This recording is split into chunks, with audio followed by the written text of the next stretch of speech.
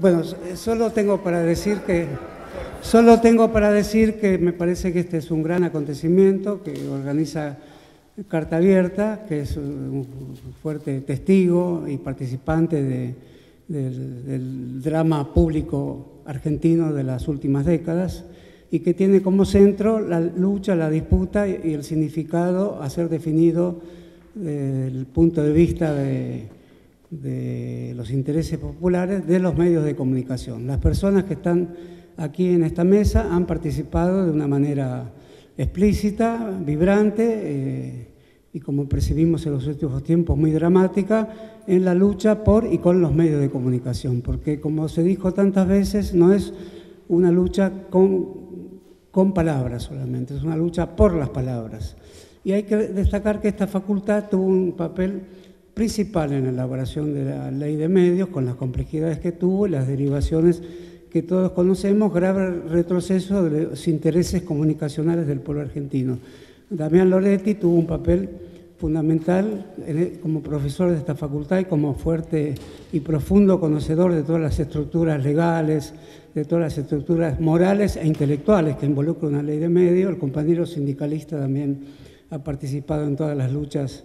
que supusieron que una ley estaba en la cabeza de los juristas, estaba en las necesidades populares, estaba en los programas de los partidos políticos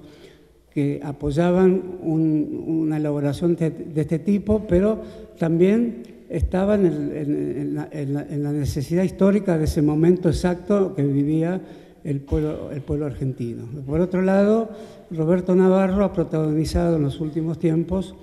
una dura tarea en la televisión y su caso muchas veces charlamos acá con muchos compañeros si podía definirse como un caso de censura o si era algo más. Efectivamente, eso está en discusión, porque la censura puede ser un caso puntual y específico a tal o cual manifestación que un poder considere inconveniente, pero también se puede considerar como parte de una gran estructura que un, poder que marcha hacia, formas totalitarias y de encierro y de estrechamiento creciente del espacio público destina a hacer coercitiva su política hacia las manifestaciones públicas, informativas que implican investigaciones de las oscuridades de ese mismo poder. Por lo tanto, es un tema crucial que se va a escuchar aquí. Por otro lado, nuestro amigo Jorge, Jorge, Bernetti, coordinador de, la, de esta mesa, es un periodista que durante muchos años desarrolló una intensa vida intelectual alrededor del periodismo como una profesión casi indefinible, porque recorre todos los, los, estadios del conocimiento, desde la investigación de los secretos del poder hasta la alta literatura. Por lo tanto, vivimos una época del periodismo, de las estructuras periodísticas y del conocimiento periodístico.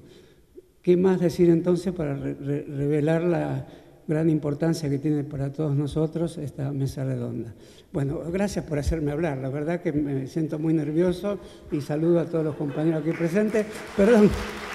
ni los miré,